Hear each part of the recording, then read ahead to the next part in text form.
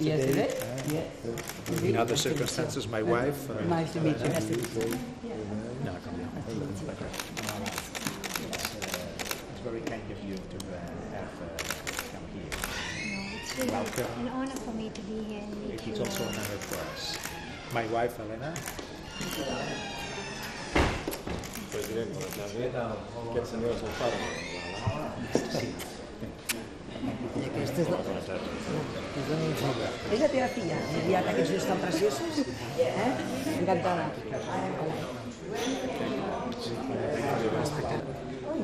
Precisament. Amb el que ve con la fotografia. Creo que sí. No, la. Què tal? Molt bé, molt bé. Bé. Ai, nosaltres també, que de les hores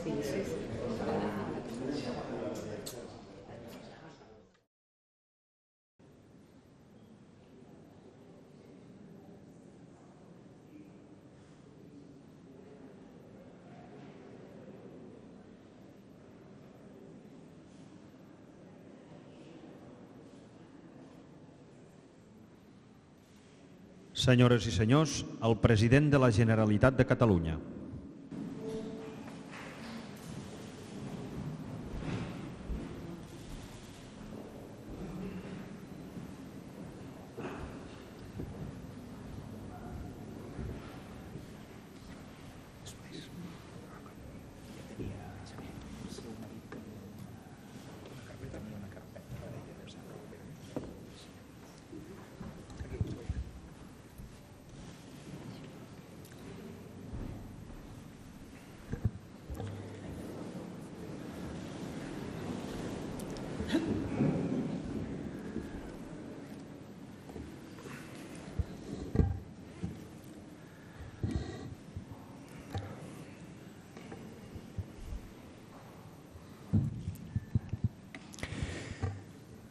Molt bona tarda a tothom. Eh, saludem a la consellera d'Ensenyament, el conseller de Cultura, el president Montilla, a les autoritats que ens acompanyen, a la vicepresidenta del Parlament de Catalunya, senyores i senyors diputats, eh, representants del cos consular, saludem d'una manera especial també a Xavier Robert de Ventós, president delegat del jurat del Premi Internacional Catalunya, a tots els membres del jurat, òbviament, i d'una forma molt especial, si vostès m'ho permeten, a Gro Harlem Brundtland i també a Malala Yousafzai, les dues persones guardonades d'enguany en un moment doncs, especial per al Premi Internacional Catalunya perquè eh, enguany celebrem 25 anys des de la creació d'aquest premi. Una llarga trajectòria ja en aquest moment, després quan tingui ocasió d'adreçar-los unes paraules doncs faré una breu referència sobre aquesta trajectòria, que crec que ha estat una trajectòria de prestigi i d'èxit, continuada per tots els governs de Catalunya al llarg de 25 anys, i en aquest moment doncs, de celebració del quart de segle tenim l'honor, el goig i el plaer de poder-ho fer amb dues persones molt destacades de l'escena internacional a les quals els agraïm moltíssim que vulguin acompanyar-nos. Per començar l'acte té la paraula el senyor Ricard Bofill, membre del jurat del 25è Premi Internacional Catalunya, que parlarà precisament sobre els 25 anys del Premi.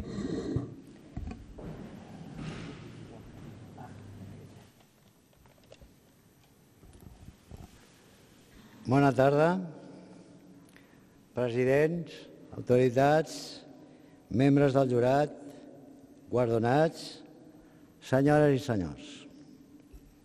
Aquest any celebrem el 25 aniversari del Premi Internacional de Catalunya, amb els guardonats Gro Brunderland i Malaya Yousafzai. Difícil de pronunciar, perdoneu-me. Eh, jo explicaré molt ràpidament perquè des de fa, des del principi que estic amb aquesta aventura, com es va formar aquest premi. Això va començar eh, fa uns 30 anys amb discussions amb el Baltasar Porcel, aquest home i aquest gran escriptor i aquest home aquest home en particular i fantàstic, i vam mm, crear o intentar crear el que es va dir a l'Institut de la Mediterrània, que era una idea molt ambiciosa i que volia anar molt lluny i que volia tenir projecció política, etc. Teníem una visió, teníem una visió de Catalunya una mica diferent de l'oficial, especialment jo, que sóc arquitecte, i la veiem com un triangle. Catalunya és un triangle. És un triangle isòceles, que tenia un vector cap a França i Europa, un altre vector cap a Espanya i Iberoamèrica i un altre vector cap al Mediterrani. I aquesta visió geogràfica, una mica no històrica, sinó geogràfica, jo com a arquitecte, és la que ens va portar a la creació de l'Institut del Mediterrani. I l'Institut del Mediterrani eh, bueno, doncs va començar a funcionar i li faltava alguna cosa.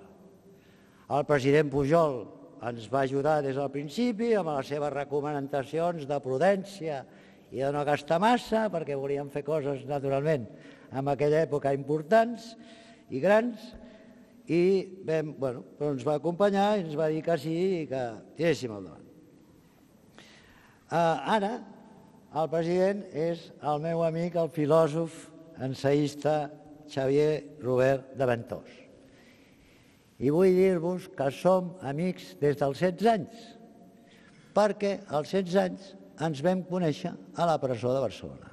Una presó que està aquí al costat, a més a més. A la presó d'aquí a Barcelona, aquesta que estic al costat.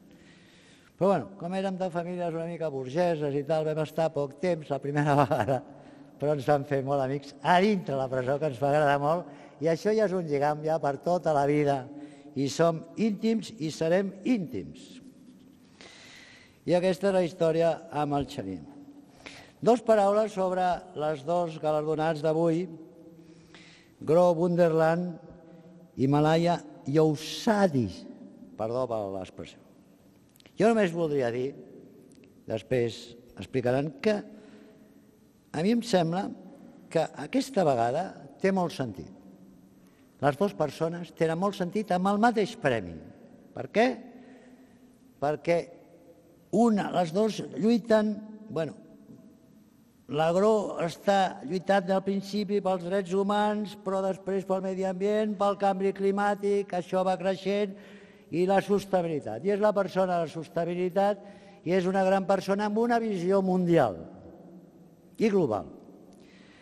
I en canvi la Malaya és família musulmana, eh, amb els problemes que tots coneixem, amb la, el tir aquest que, bueno, que afortunadament no la va matar, i és una persona de, que surt de la comunitat, de la proximitat, de la proximitat, de la comunitat, i que em diuen que està eixamplant el seu camp al seu camp de mira i a la seva visió i que s'ocupa de temes cada vegada més extensos com l'alimentació, la higiene, l'hàbitat, que a mi em toca. I per tant, aquesta visió macro i micro, amb un mateix premi, em sembla pues, que és una, una boníssima cosa. O sigui, la visió global d'aquest món que cada vegada es fa més petit i la visió de la proximitat que és necessària de les comunitats, aquesta doble visió em sembla que és la que hem de tenir nosaltres per veure el món. I vull aprofitar per dir que el, avui, bueno, avui, avui ens toca celebrar el 25 aniversari, com els nòvios, com els, els, en fi, com els matrimonis, d'aquest Premi Internacional de Catalunya. I que sempre ha sigut un premi d'excel·lència. O sigui, un premi que el valor era l'excel·lència Només cal dir els noms del Popper, del Rostropovich, del Delors, de l'Amosov, de l'Evistrós, per dir uns, uns quants, o els últims de Lula, de Lula del Silva, aquest gran personatge sindicalista tremendament fort, intel·ligent i que el reclamen ara. I últimament vull dir que un dels temes, que és el tema de l'habitació, que és el tema de la vivenda social, que és el tema de la sostenibilitat en vivenda social és el meu camp. És el que jo faig des de tota la meva vida i dedico 25-50% del meu temps.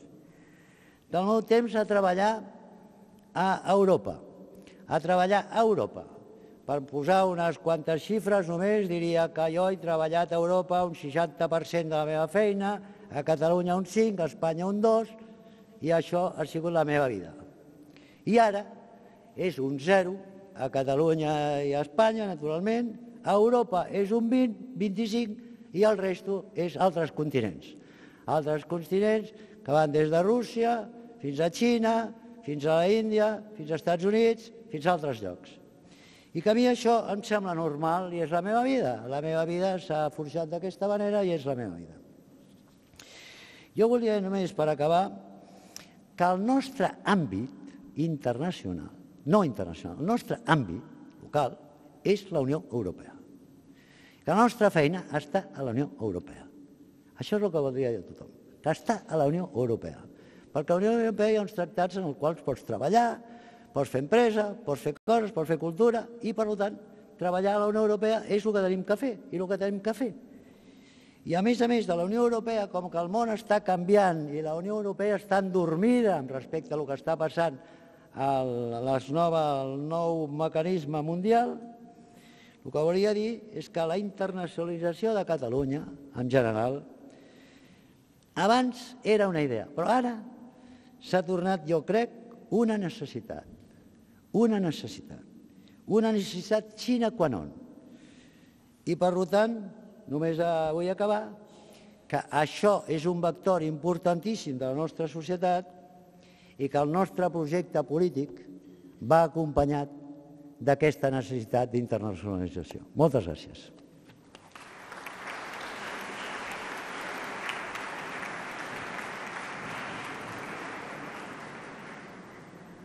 Té ara la paraula el senyor Xavier Robert de Ventós, president delegat del jurat del 25è Premi Internacional Catalunya.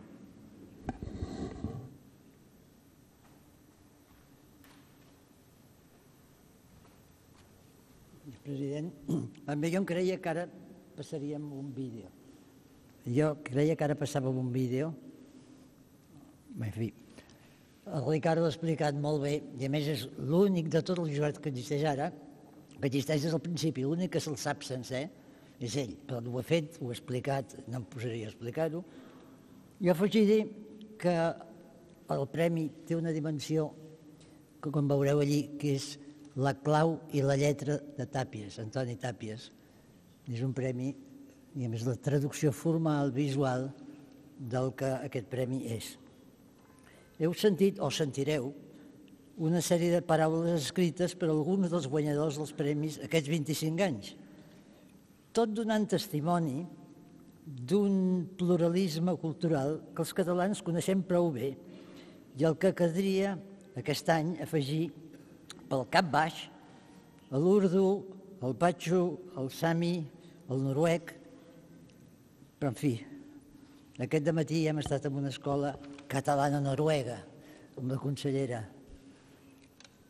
el premi del, el, el jurat del premi, el Ricardo ha dit alguns noms, els llegeixo tots, el Ricard Bofill, presidits pel president, Ricard Bofill, Juan Manuel Bonet, Josep Maria Castellet, Agustí Colomines, Jacques Delors, Bàrbara Heinrich, Edgar Morin, Ambler Mosch, Marianne Newman, Josep Ramoneda, Richard Sennett, Gianni Vattimo, Anna Veiga, Jorge Wagensberg, i Teresa Sala com a secretària executiva.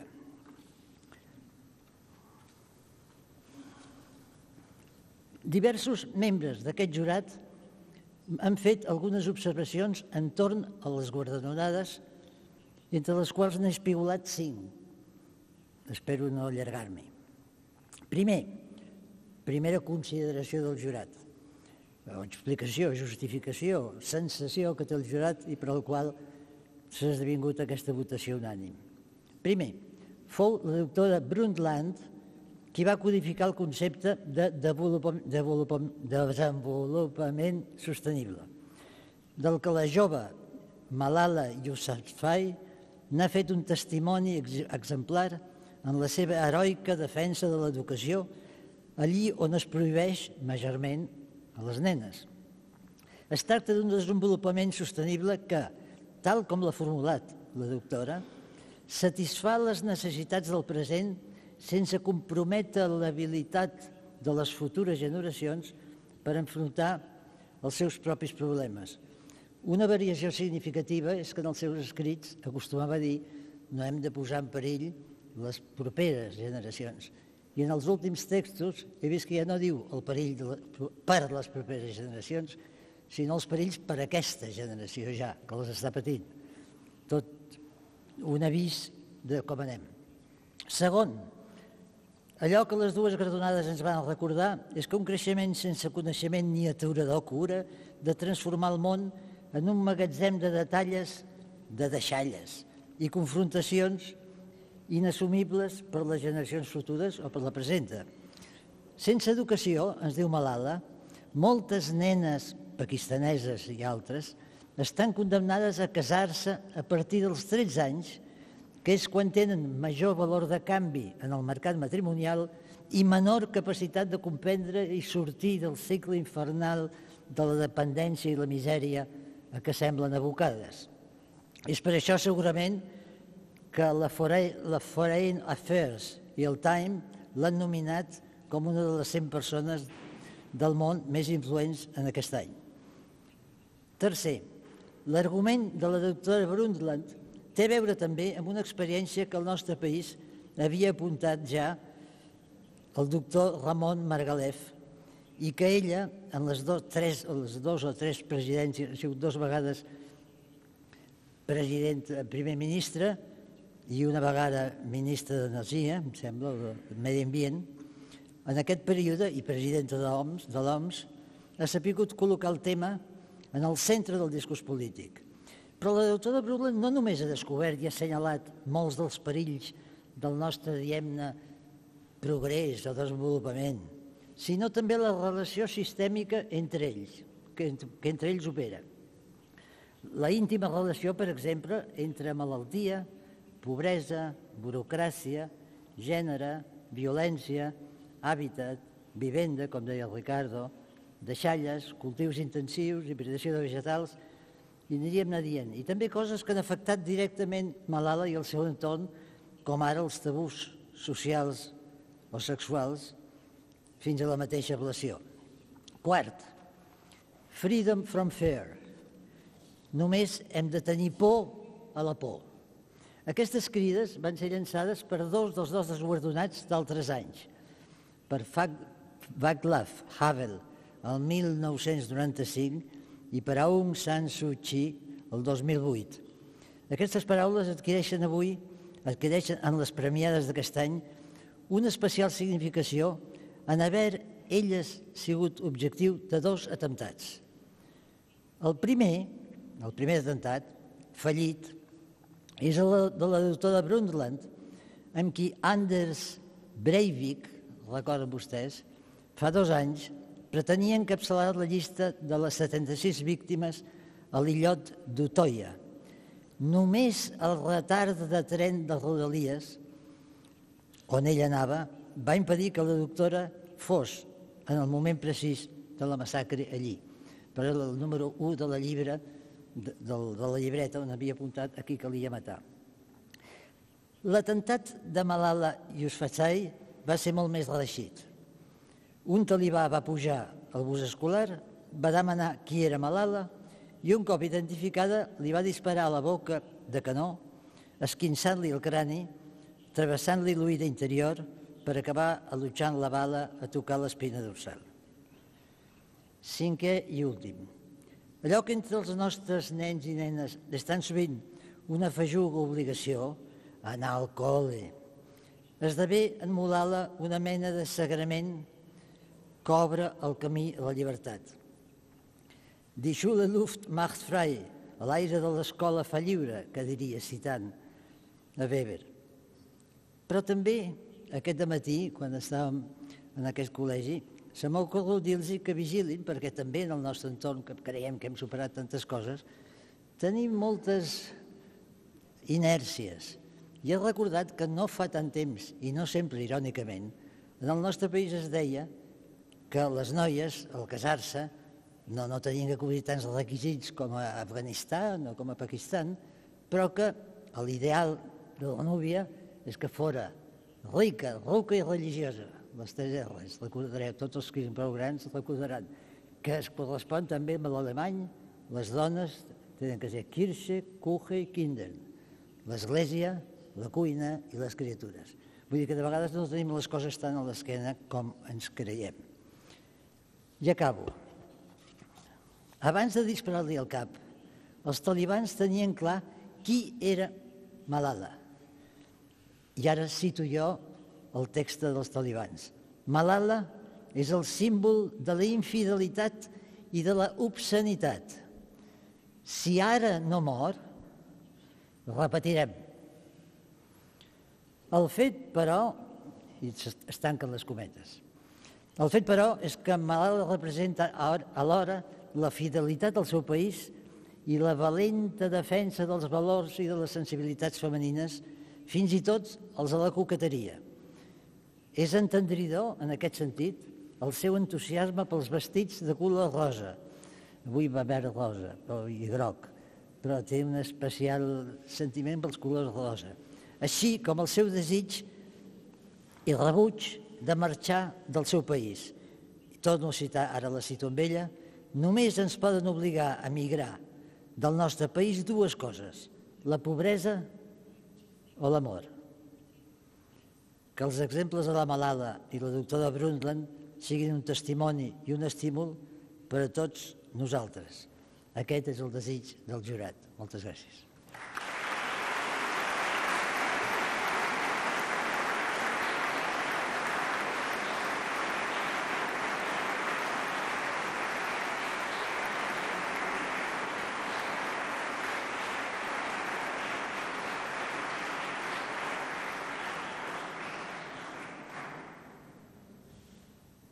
Senyores i senyors, tot seguit, el molt honorable senyor Artur Mas i Gavarró, president de la Generalitat de Catalunya, lliurarà el 25è Premi Internacional Catalunya a Gro Harlem Brundtland, primera ministra de Noruega 1981 i 1986-1996, i a Malala Yousafzai, estudiant pakistanesa.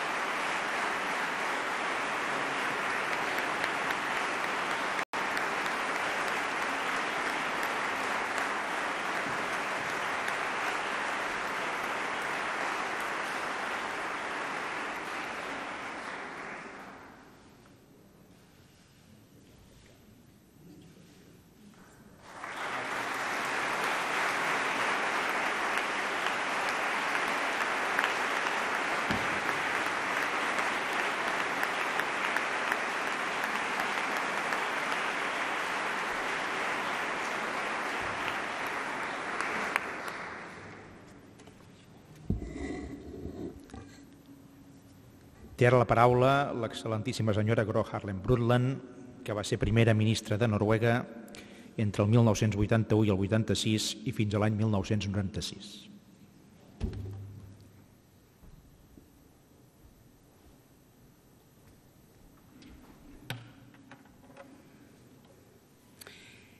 Mr. President, Senyor president, ministers, ministres, consellers, membres del jurat, Malala, dear all, estimats tots, bona tarda.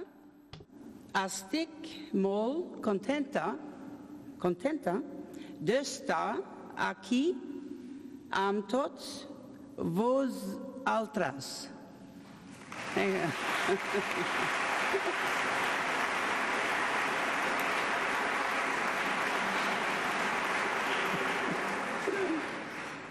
Uh, it is a great honor to be és un honor profund que se m'hagi convidat aquí a Catalunya i a la gran ciutat de Barcelona i compartir aquest uh, escenari avui amb una noia tan excepcional i valenta o dona jove, la Malala, i una dona a la que s'ha reconegut i he admirat i s'admira per to tot el món.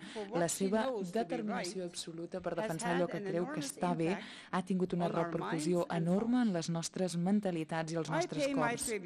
Jo li rendeixo homenatge convençuda que ella avançarà i que ella serà un motor del canvi que necessitem en un món arrasat per la pobresa, la desigualtat, la opressió i la The discriminació.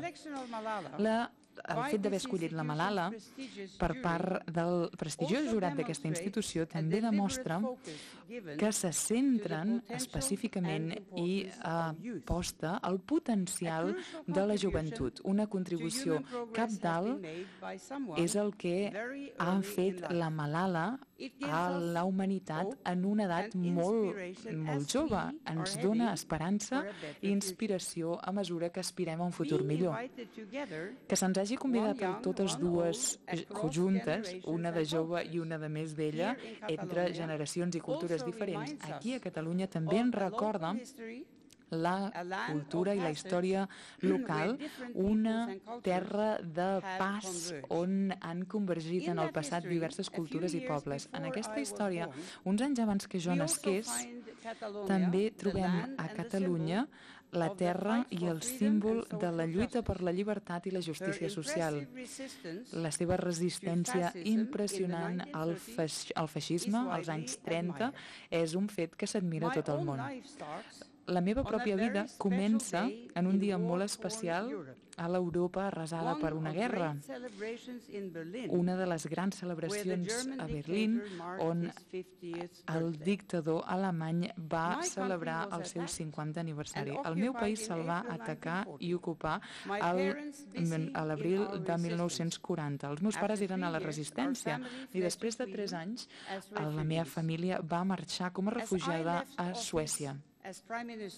Quan vaig 57 mm, deixar de ser primera ministra, Europe was rejoicing 57 anys després, Europa el que feia era celebrar la seva situació després d'anys de divisió i opressió. L'ambient era d'esperança i no pas de desesperança. Soc molt conscient que, independentment de la guerra, el conflicte i el perill, jo vaig tenir molta sort com a nena. Vaig néixer en un país democràtic que ja havia rebut la influència dels resultats d'aquella llarga lluita per la llibertat i la justícia per tots. Tots els nens anaven a escola i al principi de la meva vida hi havia un sistema de sanitat nacional amb accés universal per tothom. També vaig tenir la sort d'haver crescut en una família de conviccions ben fermes, valors molt ben arrelats de solidaritat, justícia i igualtat. Quan vaig entrar a la meva adolescència, ja era molt conscient que els principis en els que creia eren universals.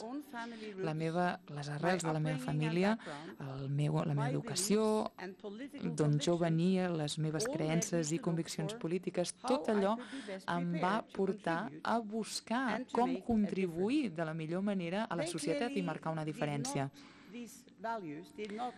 Apply Aquests valors no només s'aplicaven, vaig veure després, al meu país, sinó que havien de ser globals i havien d'aplicar-se a tots els pobles i societats. Now, once in so-called question time in Norwegian Parliament, En una sessió de preguntes a la presidenta al Parlament noruec, recordo que després d'un debat bastant acalorat amb el líder de l'oposició, vaig acabar dient Sí. tot té a veure amb la resta. At that time, nearly 20 years ago, Fa 20 anys d'això, i en aquell moment això se'n va criticar immediatament, se'n va ridiculitzar per haver dit aquesta frase. Senzillament se'n va dir que era una evasiva, que no havia estat gens clara. Resulta interessant veure que a dia d'avui sovint se'm cita i es fa amb admiració i respecte. Senyores i senyors, Com a metge i com a especialista en salut pública, sempre busco tant la visió de proximitat com la de distància. Allò petit i allò gran. M'agrada tenir un panorama complet. I això té a veure amb les nostres ments, així com els nostres cossos, amb els vincles que existeixen entre nosaltres els humans, amb les societats que creem, les comunitats que construïm, amb el nostre entorn, l'hàbitat en el que vivim. Avui això també té a veure, té un vincle amb el planeta Terra, perquè la humanitat afronta reptes fonamentals en la nostra relació amb la natura. Cal que reflexionem, que analitzem i que actuem, totalment conscients d'aquesta interdependència que tenim a dia d'avui, tant a les nostres societats com a tot el món. Abans m'he adonat com el desenvolupament, l'economia i les finances, l'educació, el medi ambient i l'hàbitat, tots es poden tractar si ho tractem des del punt de vista dels valors compartits i les preocupacions que compartim sobre la base dels drets humans i la dignitat per tots. És la única base real que existeix per trobar la pau i la seguretat. La sanitat en si mateixa potser és la història més forta de la globalització i el que necessitem són valors compartits i acció per promoure la seguretat a tot el món. Se'm va demanar que entrés al govern quan tenia 35 anys, com a ministre de Medi Ambient. I en aquell moment a mi allò em va sobrevenir com una sorpresa, perquè no, jo no tenia aquesta mena de plans ni ambicions polítiques. Això ho dic per il·lustrar que les nostres vides sovint eh, hem d'afrontar noves eleccions, nous reptes, i en un punt com aquest, tan difícil a la vida, el que compta és descobrir, a veure, puc fer-ho?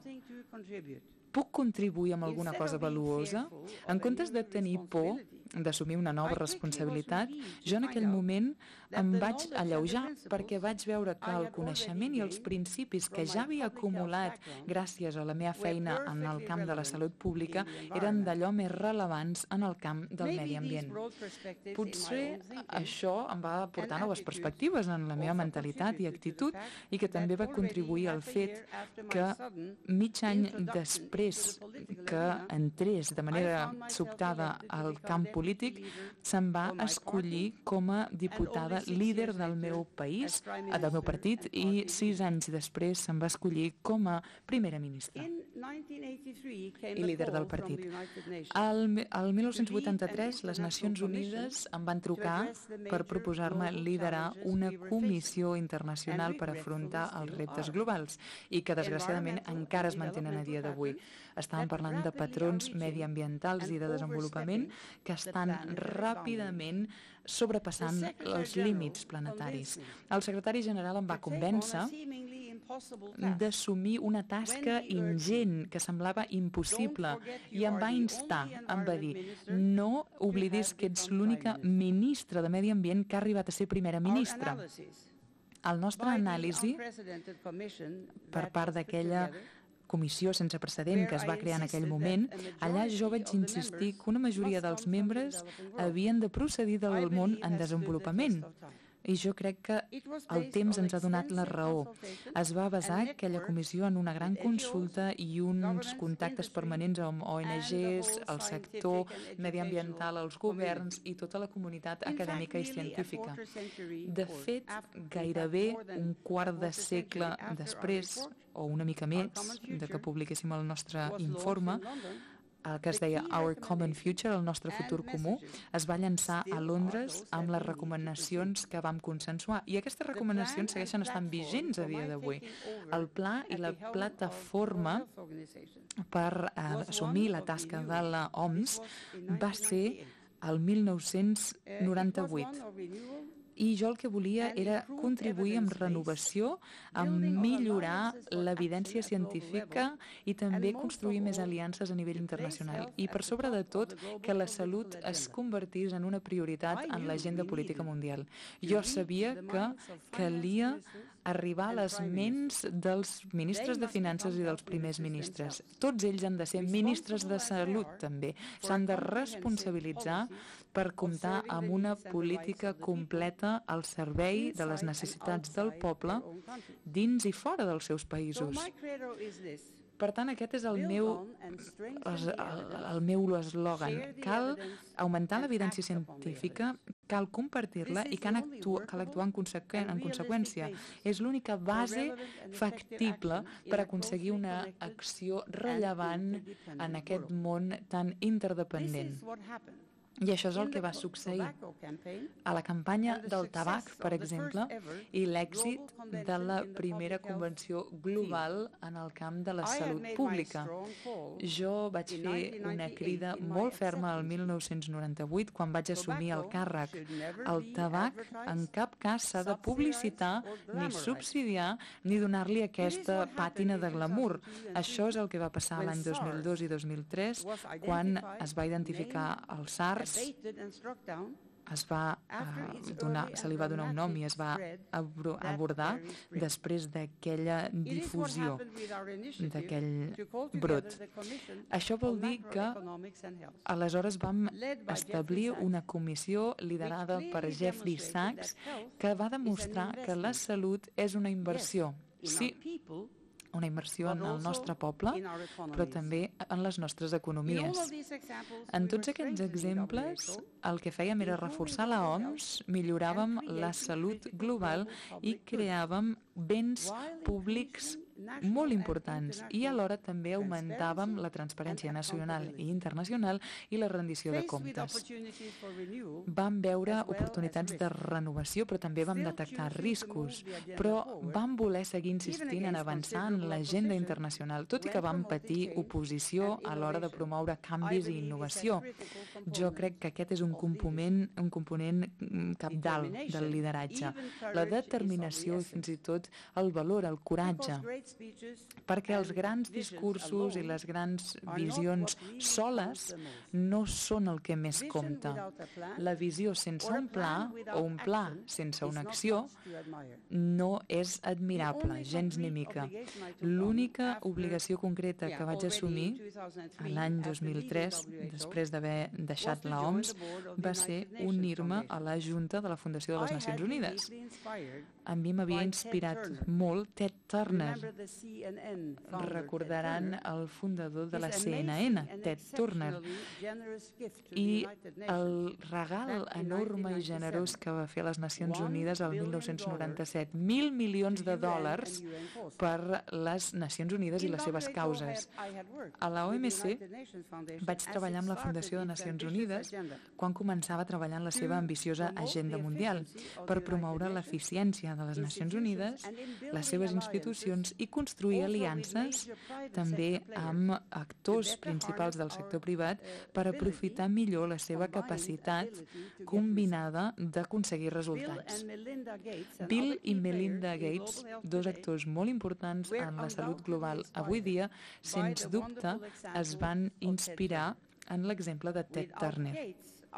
Sense Gates, el nostre enfocament innovador i l'establiment de l'Aliança Global de les Vacunes i de la Immunització, que és una història d'èxit en la salut pública, sense ells això no hauria estat possible. Tampoc hauríem tingut la inspiració i la fortalesa per crear el Fons Global contra el VIH-Sida, la tuberculosi i la malària. Per tant, a què em dedico a dia d'avui? Deu anys després d'haver acabat el meu càrrec a l'OMS. Doncs el clima, la resolució de conflictes, el, el desenvolupament sostenible, els drets humans, les aliances globals sobre salut, els drets reproductius de la dona i com a exemple de la discriminació persistent que s'oblida sovint de les noies i dones. Em refereixo al matrimoni infantil. Aquí veiem que hi ha molts elements que conflueixen tradicions inacceptables, injustes i gens saludables, que el que fan és sotscavar els drets de les nenes que veuen com se'ls danya les seves vides molt abans de ser madures. Se les treu de l'escola, la seva educació és robada i el seu futur queda totalment danyat. És una desgràcia que aquests, aquestes nenes se les hagi seleccionat així simplement pel seu gènere, perquè han nascut en llars pobres o bé per el lloc on viuen. La lluita per la justícia és el que la Malala ha iniciat i ha assumit, especialment els drets de les nenes a l'educació. Aquest dret és capdalt, fonamental. Les desigualtats educatives que veiem avui tant en una nació com entre nacions, són les desigualtats del demà pel que fa als drets humans, a la justícia social, al creixement, als ingressos i a la feina. Per últim, m'agradaria també compartir amb vostès un comentari sobre la gent gran. Des de l'any 2007 fins a aquest any, liderat per l'arcabisme Desmond Tutu, que és uh, un Premi Nobel també, i ara el lideratge l'assumirà en Kofi Annan, l'exsecretari general de les Nacions Unides, què som? Som un petit grup de líders. 11 en som ara mateix, gent a la qual he admirat i amb la qual he treballat durant la meva vida incloent el vostre guardonat de l'any 2010, el president Jimmy Carter. A nosaltres l'any 2007 ens va reunir en Nelson Mandela. i tots vam dir que sí. Òbviament, qui pot dir que no a Nelson Mandela? Se'ns va reunir i en Mandela volia i ara el cito, volia que nosaltres oferíssim la nostra influència i experiència col·lectiva per donar suport a la construcció de la pau, abordar les causes principals del patiment humà i promoure l'interès comú de la humanitat. Fi de la cita. Per tant, ens va reunir, ens va donar aquesta missió i aquest grup pot parlar en plena llibertat i de forma atrevida, treballem davant i darrere dels escenaris i donem suport allà on hi ha conflicte i inspirem amb esperança allà on hi ha desesperança era una missió d'allò més atrevida i ambiciosa, que ens feia a tots molt humils i que combina els valors i la inspiració d'un lideratge veritablement global. Moltes gràcies.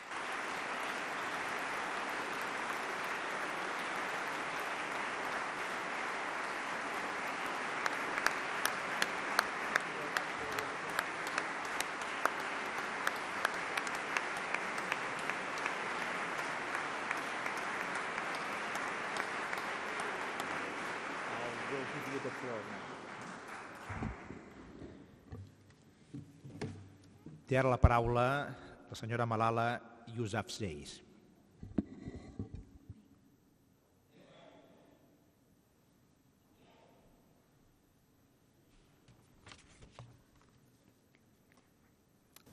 Um, hola. I'll start with some Començaré words. amb unes paraules. Em sento molt feliç de ser aquí a la ciutat de Barcelona i honorar com a guanyadora i co-guanyadora del vostre prestigiós premi amb Gru Brundtland. Sempre recordaré la vostra gran hospitalitat. Moltes gràcies i que Déu us beneixi. Am I right?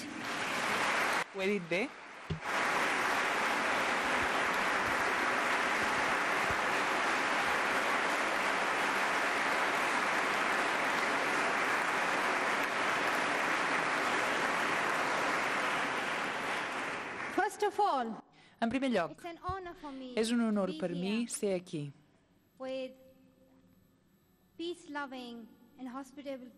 amb gent que estima la pau i que és hospitalària. M'agradaria dir gràcies al Premi Internacional Catalunya per aquest premi tan prestigiós i també voldria donar les gràcies al senyor Artur Mas, el president de la Generalitat de Catalunya, però també m'agradaria agrair a l'ambaixador de Pakistan, Masood Rajasab,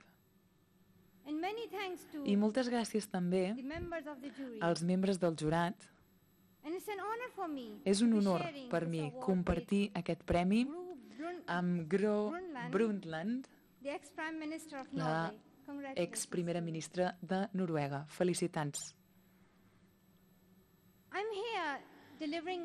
Soc aquí fent aquesta xerrada parlaré d'educació, faré una xerrada potser llarga, potser curta, però potser hi ha una pregunta. Qui sóc jo?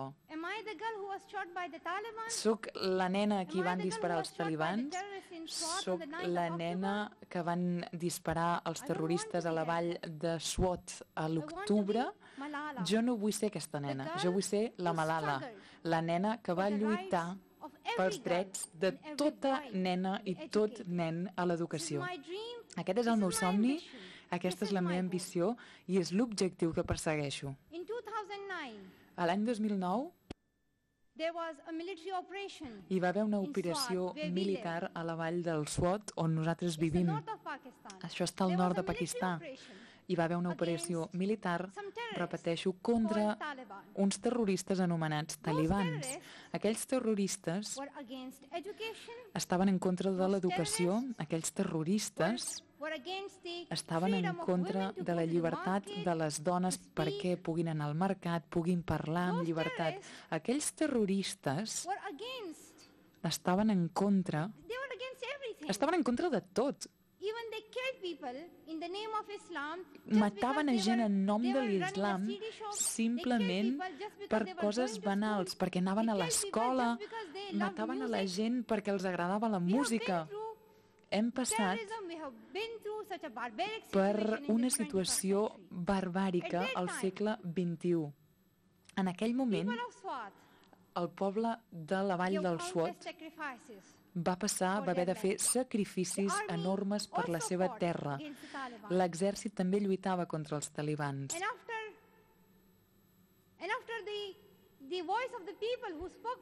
I després de sentir la veu de la gent que lluitava contra els talibans, els talibans van tornar a la Vall del Sud. En aquell moment jo escrivia un diari, parlava amb els mitjans de comunicació internacionals, també vaig parlar amb el New York Times, i allà on tenia l'oportunitat sempre parlava, deia la meva.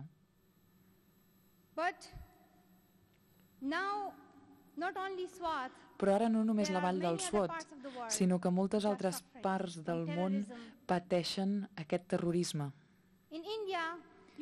A la Índia, els nens també pateixen l'explotació infantil. A l'Afganistan, la gent segueix patint la presència dels talibans, l'extremisme. A moltes parts del món, la pobresa no deixa que els nens vagin a l'escola. Fins i tot les normes i les tradicions es pateixen. Tradicions que no accepten a les dones. O tradicions que no accepten el dret d'una nena d'anar a l'escola. Hi ha moltíssims temes i no vull ni desperdiciar el meu temps ni el vostre temps preciós parlant aquí de quines són totes aquestes qüestions. Ha arribat l'hora de trobar la manera de resoldre aquests problemes. Necessitem dues coses. En la meva opinió, l'educació és l'única solució, però el nostre objectiu l'aconseguirem, que totes les nenes i tots els nens rebin educació, però primer necessitem unir-nos. Si jo això ho faig sola, si vaig a tot arreu a parlar sola, no aconseguiré el meu objectiu. Però si em doneu suport, si aquests nens parlen, diuen les seves, si s'uneixen a la meva causa, aleshores aconseguirem el que vulguem. Aconseguirem l'objectiu d'educació per tothom, el dret a la igualtat, el dret a la pau.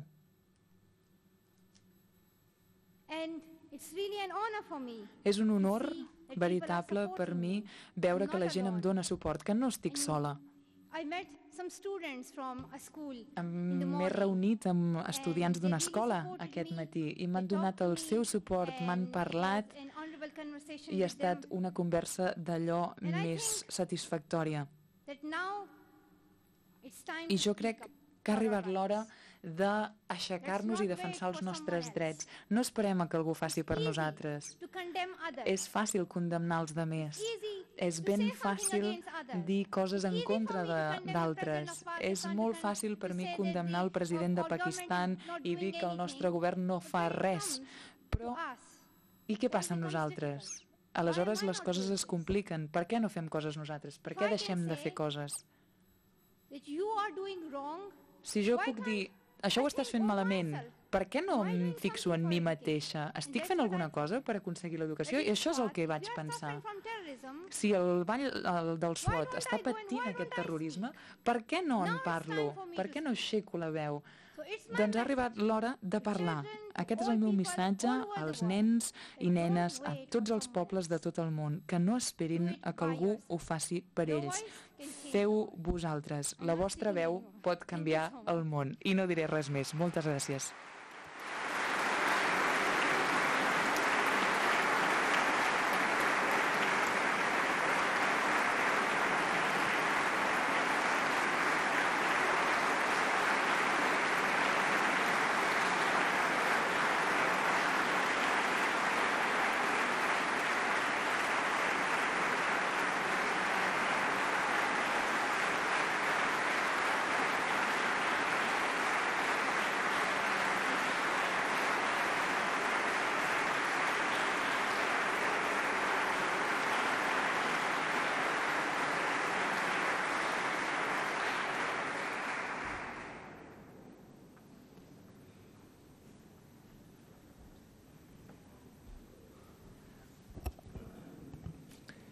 Bé, senyores i senyors, crec que després dels dos testimonis que hem tingut eh, recentment a través d'aquests eh, dos parlaments, queda clar que el jurat l'ha encertat, i l'ha encertat molt. És habitual que el jurat del Premi Internacional Catalunya l'encerti, perquè porta molts anys encertant-la, abans, quan eh, us donava la benvinguda en aquest acte, que és un acte especial perquè són 25 anys i això no es fa cada dia, us deia que aquest és un premi que en el seu moment es va crear per eh, intentar com a mínim dues coses. El primer objectiu del Premi Internacional Catalunya era, diguem, de portes endins. I sobretot el que es pretenia amb aquest primer objectiu era oferir al poble de Catalunya exemples de persones molt destacades a nivell eh, mundial, de persones que portessin testimonis d'alta qualitat i d'alta exigència. I, per tant, el nostre propòsit en aquest sentit, quan es va crear aquest premi, diguem que era un punt egoista, perquè era dir com podem nosaltres donar o oferir aquests bons exemples en el poble de Catalunya. Però al costat d'aquest objectiu n'hi havia un altre. I el segon objectiu era què podíem nosaltres, doncs, eh, podíem d'una forma o d'una altra situar Catalunya al món també a través d'un premi de prestigi. Nosaltres que històricament havíem aconseguit fer aportacions al món, malgrat ser un país de dimensions relativament petites, podíem, d'una forma o d'una altra, formar part de l'escenari internacional participant en premis de reconegut prestigi a nivell mundial i, per tant, d'aquesta manera també donar a conèixer Catalunya, com ho havíem fet tradicionalment a través dels nostres artistes o dels nostres pedagogs o dels nostres esportistes o dels nostres músics, o d'aquelles persones que promovien doncs, el concepte de la pau arreu del món i ho feien en nom de Catalunya i de la catalanitat.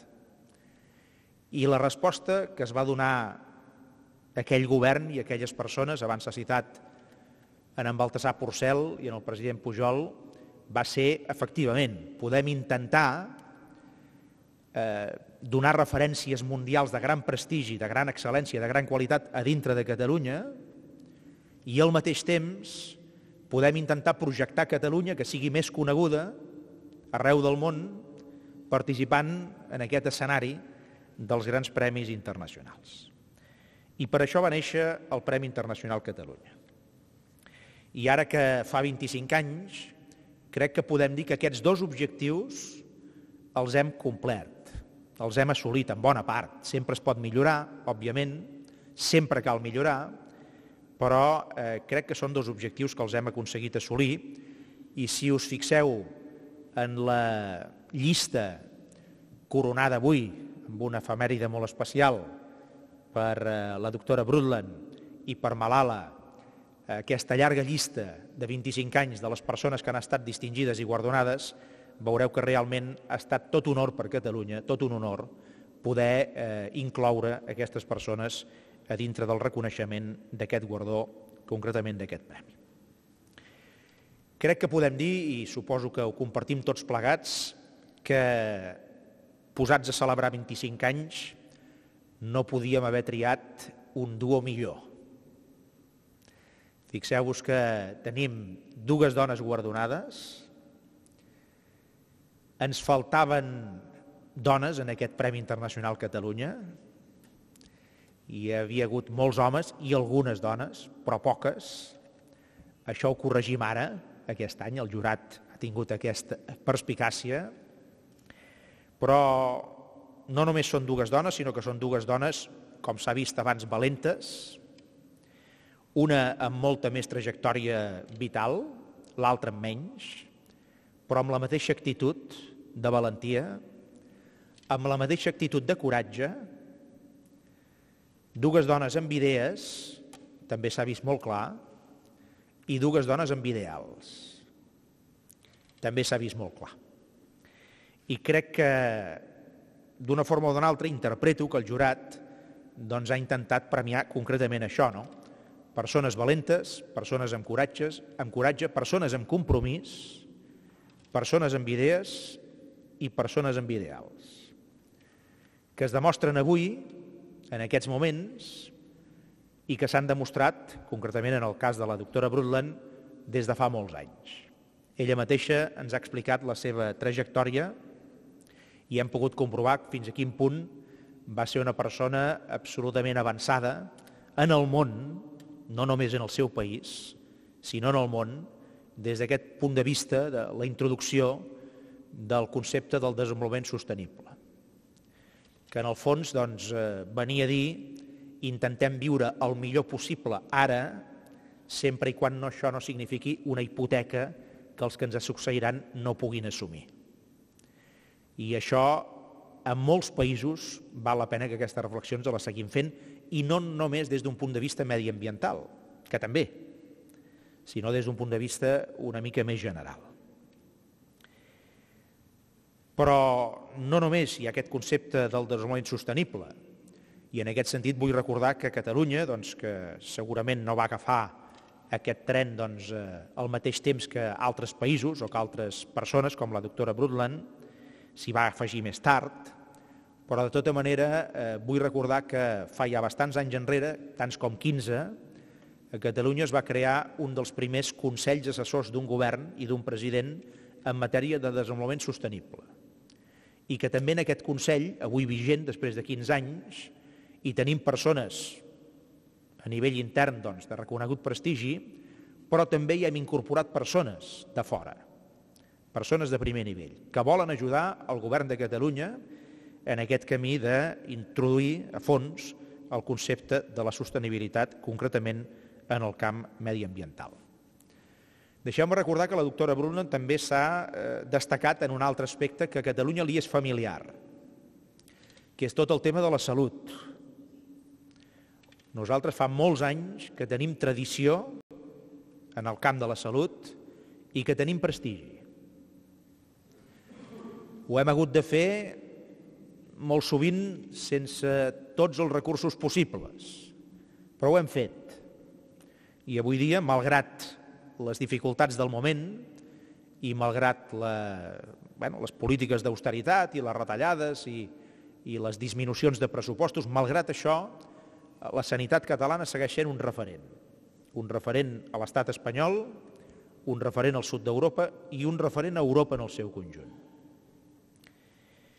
I la doctora Brundtland, que a més a més doncs, ha sigut directora general de l'Organització Mundial de la Salut i que per tant té una perspectiva general de com funcionen els sistemes de salut a tot el món i de quines són les mancances i les virtuts, les qualitats, crec que avui li podem dir que ens sentim propers en aquesta defensa que ella ha fet durant molts anys de condicions bones per la salut de la gent, perquè insisteixo que Catalunya, en aquest sentit, doncs tenim, tenim una trajectòria que hem procurat cuidar sempre i en la qual hem aconseguit doncs, eh, ser un cert referent.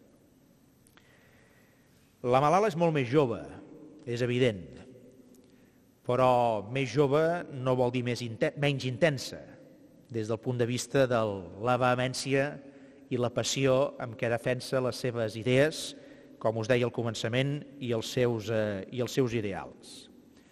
A mi m'ha agradat molt una cosa que ell ha dit, que crec que l'hem de retenir tots, eh, quan deia al començament del seu Parlament jo no vull ser coneguda com aquella nena que en el seu moment doncs, va patir un atemptat a la província de Swat, al nord del Pakistan, jo vull ser coneguda com la Malala que lluita perquè tots els nens i les nenes del món puguin defensar el seu dret a l'educació. I avui crec que ens ha donat una lliçó doncs, eh, ben evident, no? una lliçó ben evident a través, insisteixo, de la passió i de la vehemència de les seves paraules. Fa molts anys enrere, molts no, però vaja, tants com eh, 10 o 12 aproximadament, recordo una visita a Catalunya, a Barcelona, d'un expresident dels Estats Units. Concretament era en Bill Clinton. Em sembla que va venir a principis del 2002, devia ser entre el 2002 i el 2003, ja no era president dels Estats Units, però feia poc que ho havia deixat de ser. Era després de l'atemptat de les Torres Bessones, i recordo que va fer una conferència a Barcelona on adreçant-se al públic va dir una cosa que a nosaltres ens va agradar com a catalans i que ja entendreu quin sentit tenia. No ho dic ara això per presumir de res, ja entendreu quin sentit tenien les seves paraules, les de Bill Clinton. No? Bill Clinton, poc després dels atentats de les Torres Bessones, eh, coneixent una mica, perquè se li havia explicat, encara que sigui una mica, doncs, en què consistia Catalunya, quines eren els, seus, els trets de la seva identitat bàsica i del funcionament de la seva societat, va dir el món serà talibà o català. The world will be Taliban or Catalan, he said, several years ago. Eh? Sí, bueno, va ser així. Jo no ho vaig dir, ho va dir Bill Clinton, jo només ho repeteixo. Jo només ho repeteixo. No? Deia ell, el món serà talibà o serà català. Què volia dir Bill Clinton? Que tenia un coneixement relativament eh, petit de Catalunya, no? però tenia un coneixement més gran de què significava un món talibà. El que volia dir Bill Clinton és que el món podia estar presidit per la violència, per la intolerància, pel terrorisme, per l'absència de drets, per trepitjar els drets de les persones, per anul·lar llibertat individual o col·lectiva, podia estar presidit per això, el model talibà, o podia estar presidit, diguem-ne, pel model català, dit amb tota la modèstia, deia Bill Clinton, que vol dir que no hi ha d'haver violència, que no hi ha d'haver esclafament de drets ni personals ni col·lectius, que hi ha d'haver tolerància i que hi ha d'haver amor i defensa per la llibertat i pels drets de les persones. I crec que nosaltres, molt modestament, malgrat les nostres enormes dificultats, que són moltes, avui encara podem dir que estem intentant construir aquest model. Aquest model de pau, de llibertat, de cohesió social, de respecte als drets de les persones. Avui ens acompanyen en aquest acte alguns col·lectius una mica especials, deixeu-m'ho esmentar, per anar acabant. Ens acompanyen dues escoles, representants de dues escoles. Una és l'Institut eh, Eugeni d'Ors, que la Malala ha visitat eh, aquest matí i que els hem identificat per allà, venen de Badalona perquè em sembla que són els que s'han posat drets quan la Malala doncs, eh, ha acabat la seva intervenció ell ha pogut visitar aquesta escola, estem en un moment en què les nostres escoles pateixen. Les nostres escoles pateixen perquè realment doncs, eh, no tenim els recursos que teníem per poder eh, fer funcionar el nostre sistema educatiu. Però encara que són escoles que pateixen més del que patien fa un temps enrere, també crec que avui la Malala, a través del testimoni que ha viscut a Badalona, al barri de Sant Roc, pot haver vist quin és el nostre el model pel qual estem treballant, que és el model de la cohesió social. És el model de la cohesió social. És el model aquell que en les nostres escoles, quan venen nens i nenes de fora, que no coneixen el nostre país, que no coneixen la nostra llengua, que no coneixen el nostre sistema educatiu, que no coneixen els nostres valors, però que tenen dret, òbviament, a anar a l'escola, siguin nens o siguin nenes, nosaltres els acollim, el nostre model educatiu els acull a través d'aquestes aules d'acollida. Avui probablement en aquesta aula d'acollida doncs, tots els estudiants eren persones d'origen de, de fora, d'origen estranger, però a través d'aquest model nosaltres el que intentem és que al final doncs, a dintre de la nostra societat hi hagi aquest model inclusiu i que tothom acabi tenint les mateixes oportunitats. Després, evidentment, la igualtat d'oportunitats no vol dir exactament la igualtat de resultats. Això és impossible de garantir. Però, en canvi, la igualtat d'oportunitats, aquesta sí que es pot intentar garantir. Doncs bé, aquest és el model de cohesió social i, enllaçant en paraules anteriors també, de cohesió intergeneracional que estem intentant aplicar a casa nostra enmig de les dificultats que avui estem vivint. I un model basat en drets, però també en deures. No som només una societat que reclama drets, sinó que som una societat que intenta en aquest model equilibrat, en aquest model combinat, fer entendre que també som conscients de la responsabilitat dels nostres deures. Per acabar, voldria...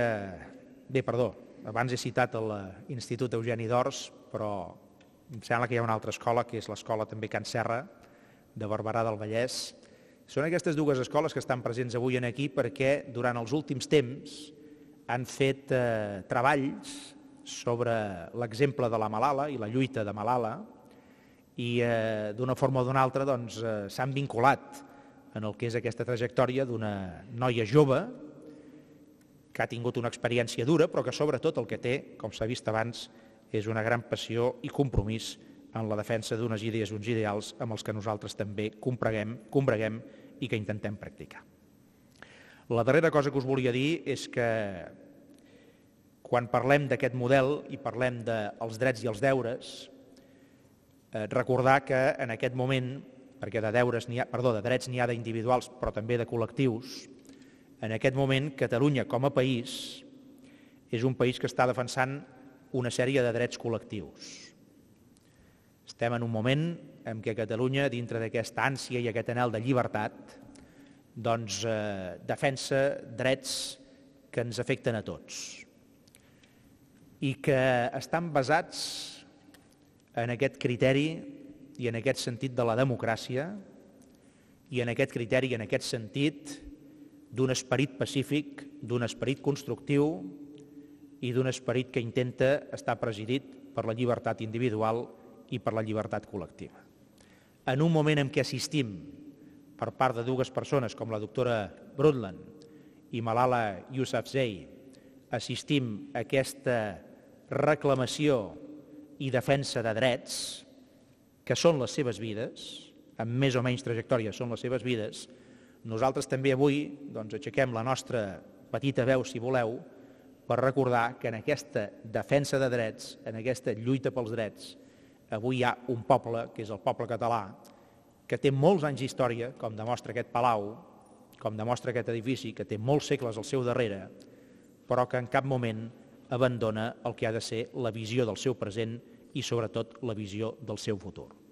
I que nosaltres aquests drets col·lectius, igual que hem aconseguit defensar els drets individuals a l'educació, a la salut, a la cohesió social o molts altres, aquests drets col·lectius de llibertat també els volem defensar i els volem defensar amb la vehemència i amb la passió que hi posava la doctora Brundtland i que hi posava també Malala Yousafzai. Moltíssimes gràcies pel vostre testimoni i moltes gràcies a tothom per la vostra atenció.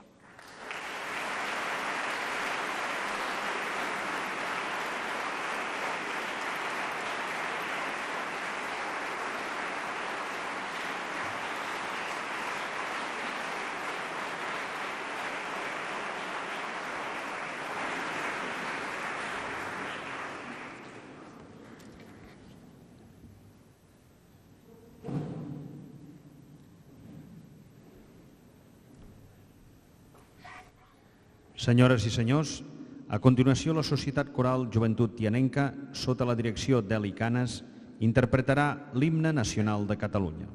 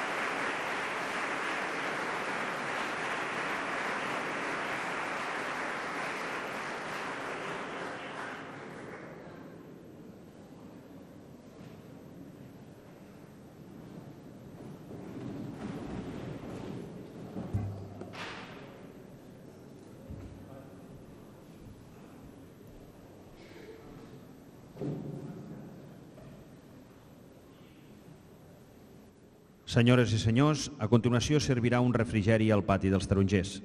Moltes gràcies per la seva assistència i molt bon vespre.